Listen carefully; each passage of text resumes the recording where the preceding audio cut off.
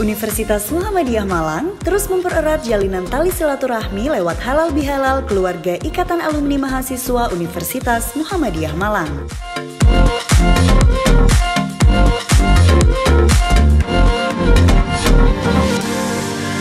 Dibuka dengan diskusi bersama alumni sukses yang membagikan kisah-kisah inspiratifnya.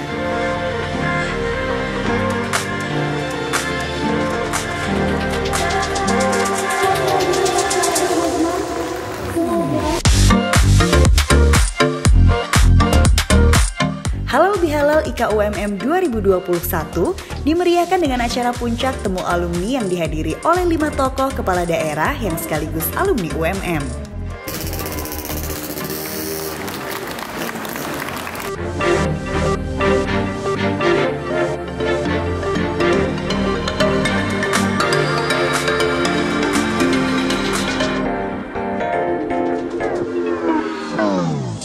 Acara yang diisi dengan drama kisah lima tokoh kepala daerah saat menjadi mahasiswa ini mengundang banyak tawa dari alumni yang hadir.